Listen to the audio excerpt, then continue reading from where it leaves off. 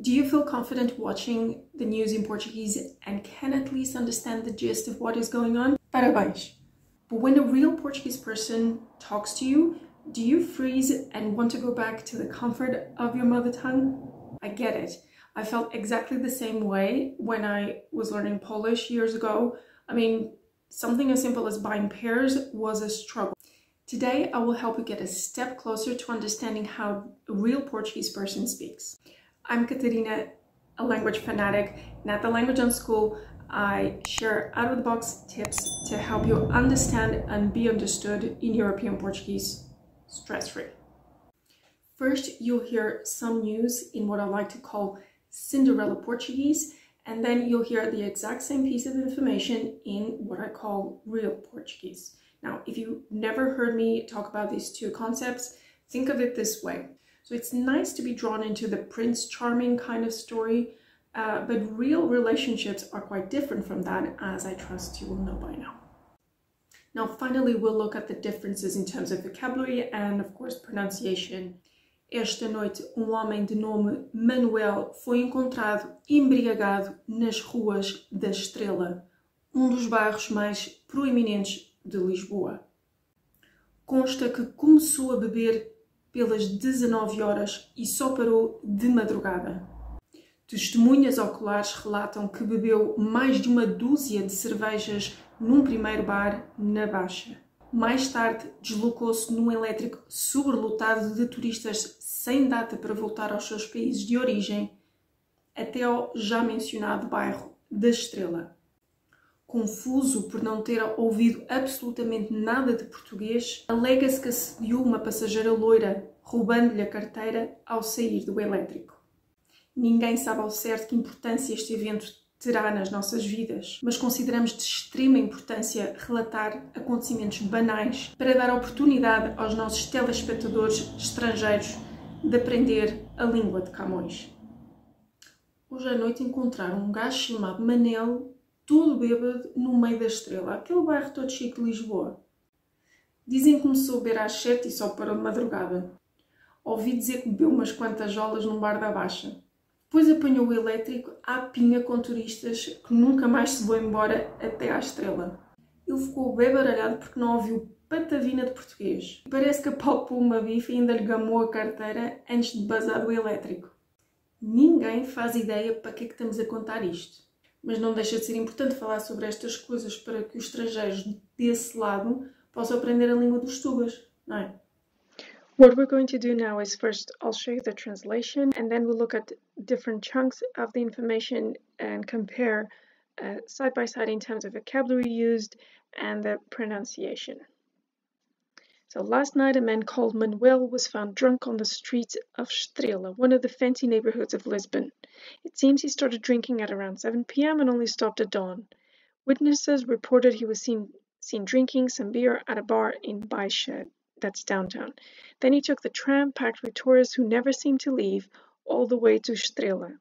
He was very confused for not hearing a word of Portuguese and even harassed a blonde passenger. Before leaving the tram, he stole her wallet.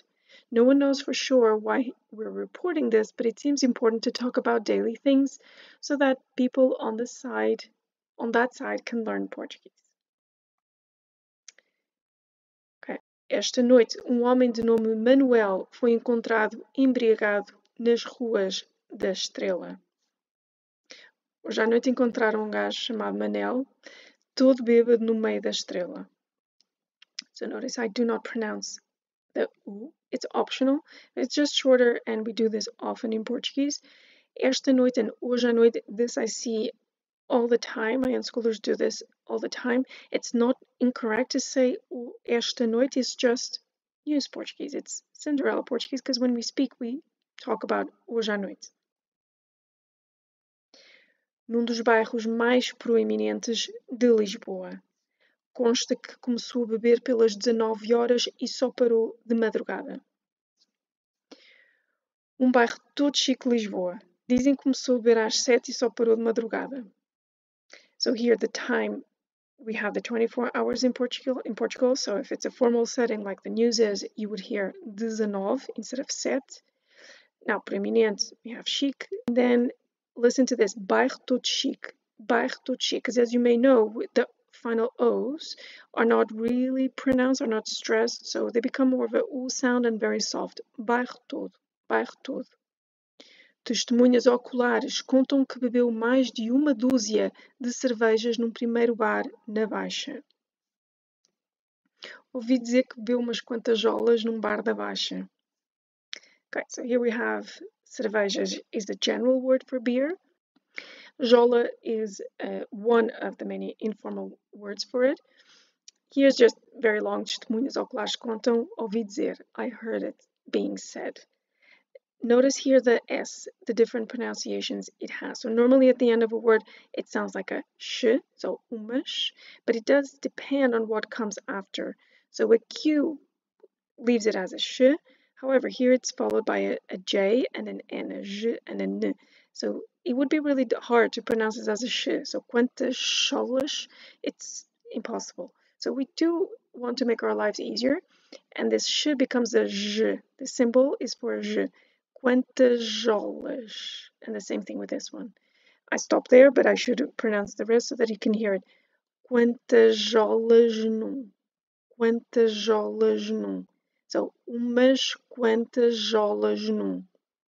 Hear it. Mais tarde, deslocou-se num elétrico sobrelotado de turistas sem data para voltar aos seus países até ao dito bairro da Estrela. Depois apanhou um elétrico à pinha com turistas que nunca mais se vão embora até à Estrela. So deslocou-se, it's really formal. Apanhar is to catch uh, some means of transportation. Sobrelotado, again, formal. A pinha, it's very informal, uh, but not rude or anything. So if you're on a bus and it's packed, you say a pinha. Here, notice how I combine these two sounds. Até à estrela. Até à estrela. I don't need to take a break, ok? Confuso por não ter ouvido absolutamente nada de português, alega-se que assediou uma passageira loira, roubando-lhe a carteira ao sair do elétrico. Ele ficou bué baralhado porque não ouviu patavina de português e parece que apalpou uma bifa e ainda lhe gamou a carteira antes de bazar do elétrico. Okay, so confused, confused, but we have bué is informal for very, muito, baralhado. Um, you would have a card deck before you play. You need to shuffle it, and that's what it means, like shuffled. um, here, so loira, beef or beef if it's a woman. It's a very informal way that we use. Maybe I shouldn't be saying this publicly, but it's um, how we refer to a tourist. Normally, would be British, considering historical for historical reasons in the Algarve. Very white skin that becomes red as a lobster in the summer. So that's why we, and beef in Portuguese means steak, okay? So maybe you can hear the reference. And then roubar, the verb to steal, we have gamar, it's informal. Sair to leave, bazar is informal to leave. And how did I pronounce this? Is in, I combine the final E's drop, so uh, as I like to say, they vanish. And then we're, we're practical people, pragmatic, so we do combine marry the k with the rest because it starts with a vowel. So que palpo. But if you listen back, I didn't say que palpo. I said que palpo. So I remove things and then I put something in again. It's our way of stressing uh, words. Que palpo.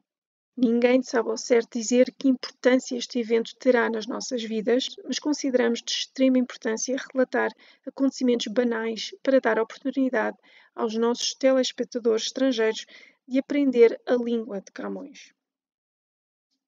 Ninguém faz ideia para que é que estamos a contar isto, mas não deixa de ser importante falar sobre coisas da vida, para que os estrangeiros desse lado possam aprender a língua dos Tugas, não é? Okay, the most important thing here is really pakek. Pakek. So para is normally shortened to pra or pa. So pakek. This is very informal and a news reporter will never say like that.